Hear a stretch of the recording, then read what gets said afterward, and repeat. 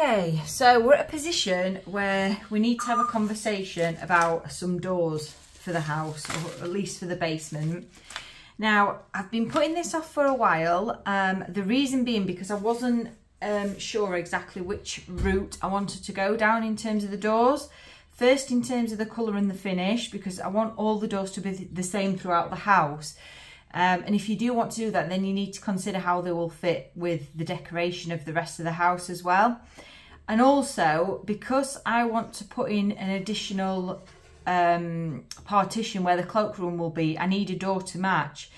Now, I had a look and all three doors are the same. So there's supposed to be here two doors, one for the kitchen partition, one for the basement partition.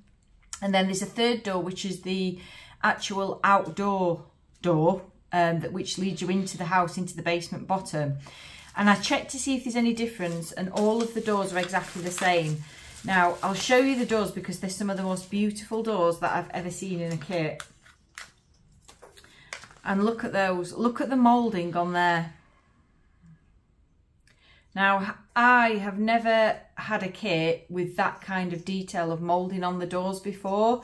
As you know, you know, you buy some doors and they've got a little tiny bit of moulding and then you get the moulding at the back that goes around the other side, but not into that level of detail. And I have searched high and low to see if I can find a fourth door and I can't find one anywhere that matches this. So if you can point me in the right direction, please comment below and let me know where you, I can get another door. Um, but for now, I think what I'll do is those three doors that I have that are matching, I'm going to use for the um, kitchen door, the basement door. When I say the basement, I mean like the entertaining cloakroom area. I'm really, yeah, that, that area. Um, and then the um, cloakroom door. So I'm going to be missing a door for the front door. Now we decided if I wanted the doors to match and I couldn't possibly get another door like this, it would be better to have that for the cloakroom door because all the internal doors are matching then. And then to just have a bit of an odd one out for the main front entrance door um, because that's probably going to be better um, in terms of in terms of how it will look. So I'll show you the ideas I've got for what colour painting I want to do on these. Okay, so in terms of the paintwork, you've probably seen some of this before because um, obviously this white that I absolutely love, which is the Crown Satin White Cream colour. That is the colour that I'll be using um, for pretty much all the whites in the house. I don't want something that's very, very bright. I want something in keeping with the age of the house. And that cream white, if you can see there, is a really lovely shade. So that is going to be for the actual doors. However, for the framing, for the woodwork on the framing, by the framing I mean these parts here, and obviously the parts on the back, I actually want them to be in a dark wood colour. And I've had a look around, and again, you know, I mentioned before, if you're stuck with something or if you're not quite sure on making a decision or a colour or you haven't found the right thing, just put that job off and do something else. Don't feel rushed to do it because if you're forced into making a decision that you might not be happy with later, it, you know, it's going to bug you forever, trust me. Um, so I searched high and low and I've got a few different wood dyes already. I've got a Rustins Walnut, a Dark Oak and a couple of others. But the one that I saw, and again, I have seen it on a computer screen, so I don't know how it's going to look in real life, is this.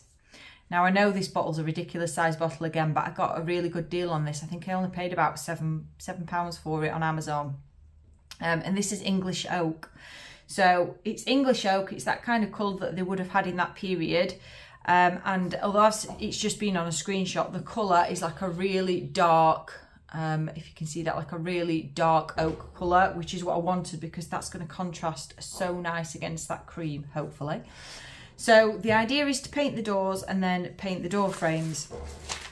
Now a lot of people and you've probably seen videos of people doing this there's a little pin in the bottom there that you can pull out and then you can paint the doors and frames separately to make sure you're getting all the little edges um, like around the, the back of the door frame, etc. Now, I, when I've painted doors and frames, I've painted them, I've normally painted them the same colour.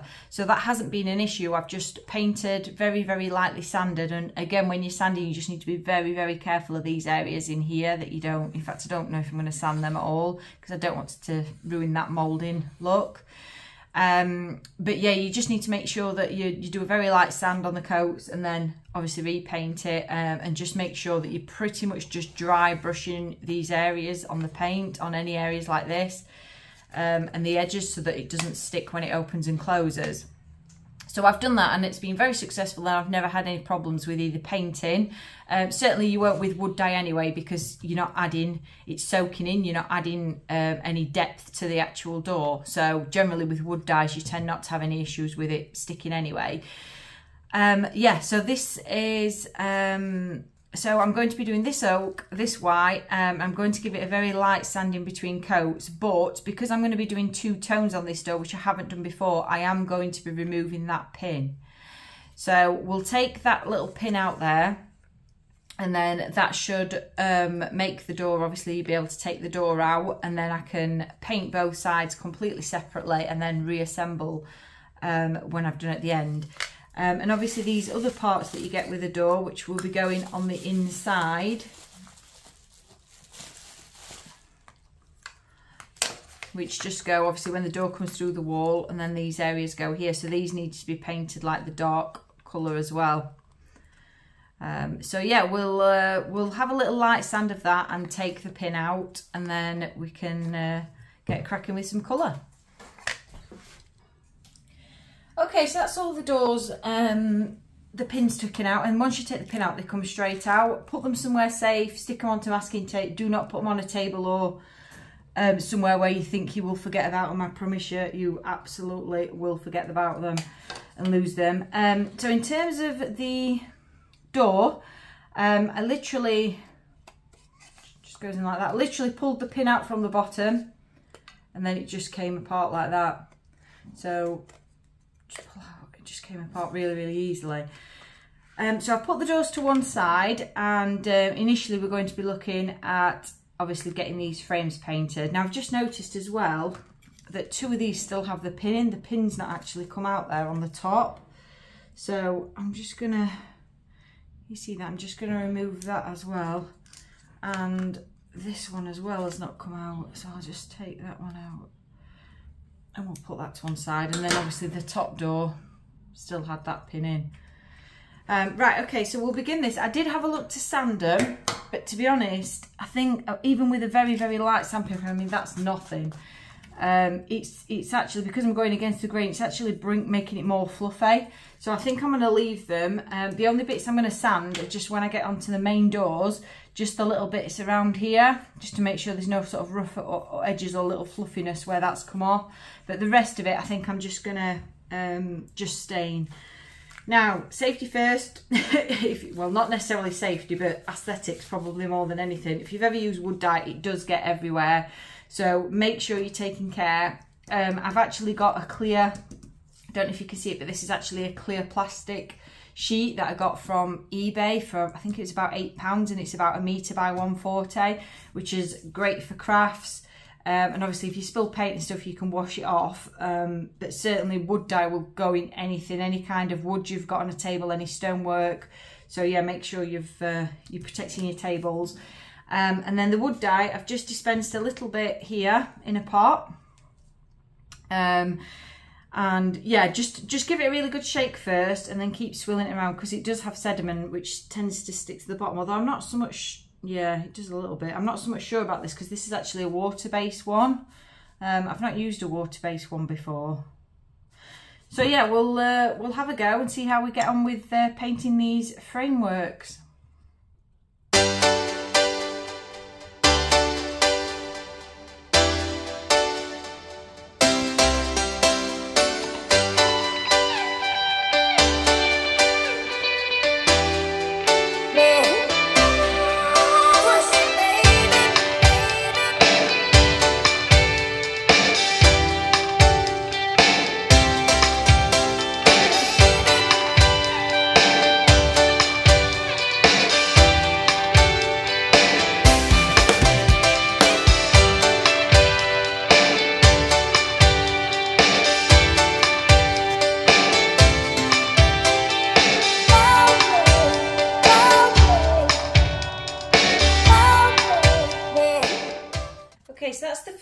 done there, and just a couple of things to make note of.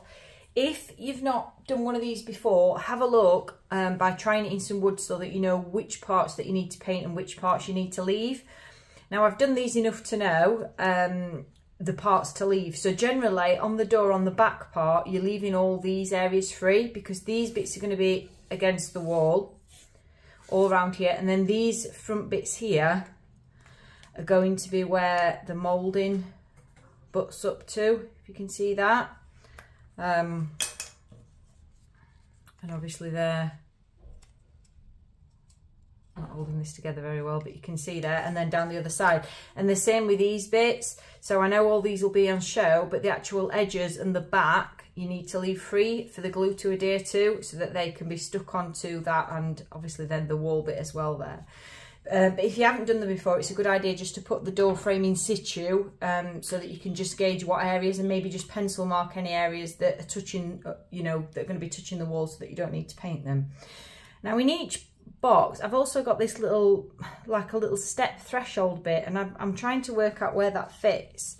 I've not had one of them in a kit before, so I don't know if that fits on the other side as like a little threshold. Um, either way, it's part of the frame, so I'm going to paint it in wood dye um, and then we'll get the rest of these done as well. Now that colour already, once you've put wood dye on, it tends to be, that's the colour. It doesn't tend to change much unlike paint. So that is a lot lighter than I wanted it. So straight away I'm going to have to do a second coat, definitely. Um, and I'll read the instructions on that. But yeah, that's that's a bit lighter than I wanted. So um, we'll be going in with a second coat once we've done the first. Okay, so these have had two coats of wood dye on now in short succession. I pretty much started one end, got to the other and then went back again. Um, and you can see it's dark, but it's still quite not as dark as I want. So I think I might do a third coat.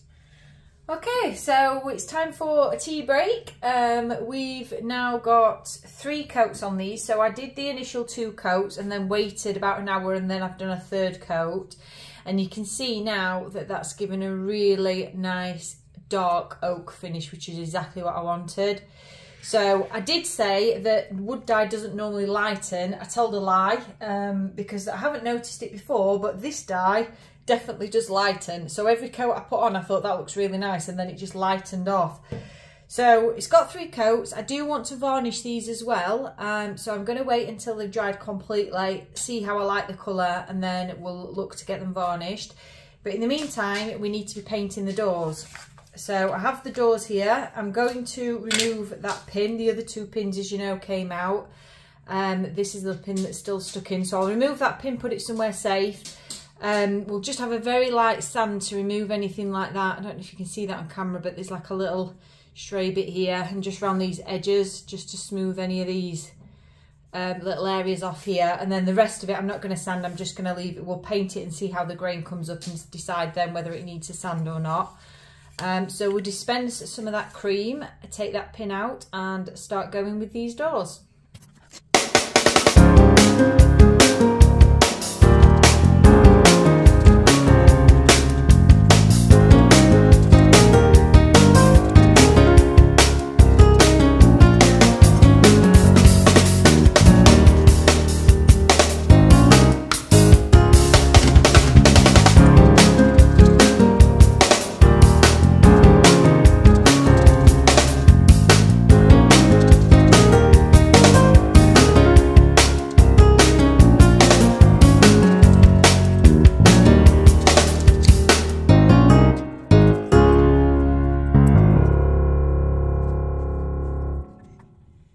That's done now front and back. I think what I'll do now is leave everything to dry overnight and then um, tackle the um, doors again with a very, very fine, fine sandpaper um, before attempting a second coat. And then um, I don't know if I'll get these varnished tomorrow, the frames. We'll have a look at the colour again and, and decide where to go from there. Hello, right, I'm actually on the same day but a bit later on and everything's dried actually a lot quicker than I thought. So these have now had a sand and a second coat and I'll be putting um, a third coat on, at least a third coat as well. And you can see how it's going to look now against that frame and I'm really happy with that. I love that two-tone effect that I wanted. And this is actually as dark as I want to get. So we are going to start varnishing. And I have this in my supplies which is a satin coat clear varnish which is perfect. So I'm going to be giving this a good shake and using this um, and just a, a small paintbrush again to apply now I'm going to be dispensing some in a little cup. The reason being that um, if you are putting varnish or anything onto a wood dye especially, the dye will come off. And if you dip in your brush in the um, in the tin, then you're actually going to be putting dye into the varnish. So if I just dispense a little bit in here and then it's going in and out onto that, it doesn't matter because I'm not affecting this and I can use it for other projects. Okay, so that's everything done now. Um, these have had three coats, uh, light sanding in between, so we will get them reassembled. Okay, so that's all three doors done now. Um, they went back together actually really easy and they open and close perfectly. So really happy with those. Um, exactly the look that I wanted with the dark wood finish and then the um, cream doors. Now I have got some brassware um, en route, but it hasn't arrived yet. So um, we will wait for that and then I'll, I'll show you me um, obviously attaching those. Um, but for now, we'll leave that video there. Thanks very much for joining us and see you next time. Take care.